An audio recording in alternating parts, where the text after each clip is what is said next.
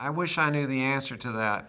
We do know that women, and this is Masters Johnson and other research, women have about 8,000 nerve endings in the clitoris. Men have about 4,000 in the penis. So we can guess who got the better deal there. Uh, women tend to orgasm repeatedly and have longer orgasms than men. So I would say certainly theirs is different from the male. But in terms of individual uh, differences, it's really hard to say. Um, research shows that it usually occurs in the same kind of progression when looked at physiologically.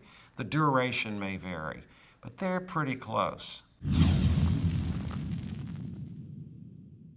Any woman will tell you that it's all about foreplay.